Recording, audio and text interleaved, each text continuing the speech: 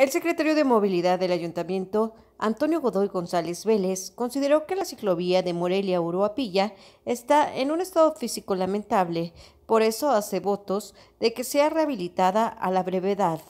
En entrevista, el funcionario dijo que la ciclovía fue un esfuerzo que los ciclistas realizaron por 10 años. Sin embargo, el logro de que se edificara poco valió porque su estado físico actualmente es lamentable.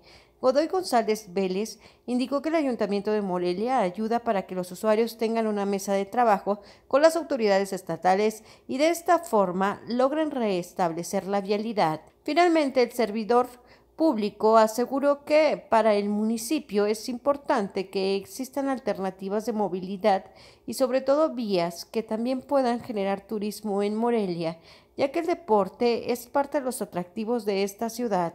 Carla, ya la respuesta.